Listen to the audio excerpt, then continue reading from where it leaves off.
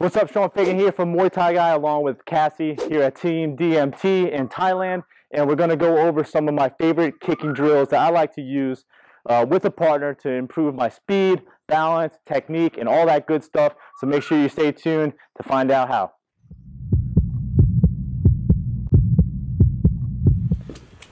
All right, let's get into drill number one, which is the balance and hip thrust drill. And I love this drill because it's simple, but it's really effective. Because as you can see, Cassie's pushing me all over the ring. I have to stay nice, balanced, and control. And once she stops, I turn over my hip just like I'm throwing a kick, so this way I can get that motion down, which is super important. That last motion where you thrust your hip, that's where all the power in your kick is going to come from. Or not all the power, but most of the power. So here is Cassie doing it as well, bouncing on her post foot and then driving through with that hip once I stop moving.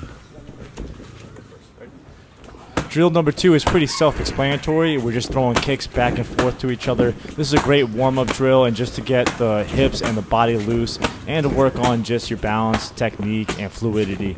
And so this is good if you're with a controlled partner. Obviously, you're not trying to slam these kicks into each other. Drill number three is a check and return drill. So right now I'm attacking Cassie's legs or body, and all she's doing is checking and returning. And you see sometimes she'll return with the same side leg, or other times she'll return with the opposite side leg. So this is a great way to just get used to countering or checking and countering. And if you're liking these drills, make sure you subscribe because, like I said, we're always coming out with new stuff to add to your Muay Thai game. So make sure you click that subscribe button. But uh, yeah, just make sure you have really good technique. You're focusing on form, and you're also nice and controlled. Control and balance are everything. Next is the catch and return drill. So there's a bunch of different varieties that you can catch kicks and return kicks, but in this drill specifically, we're always return with the kicks, so this way our partner can catch and return as well. And so you'll see sometimes we'll return with the same side, sometimes we'll switch it up, sometimes we'll mess up just like you saw there. But the whole key is just to get used to catching kicks, dropping it down, and returning because the name of the game in Muay Thai is if you get kicked or hit, you got to return back as fast as possible.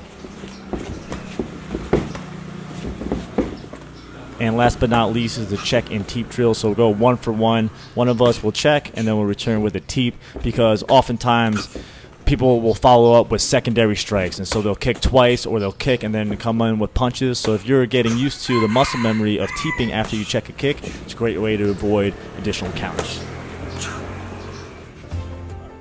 Thank you so much for watching these drills and hopefully you'll be able to implement them into your game at some time soon. And if you do, make sure you comment below and let me know what you think of them because I always love the feedback.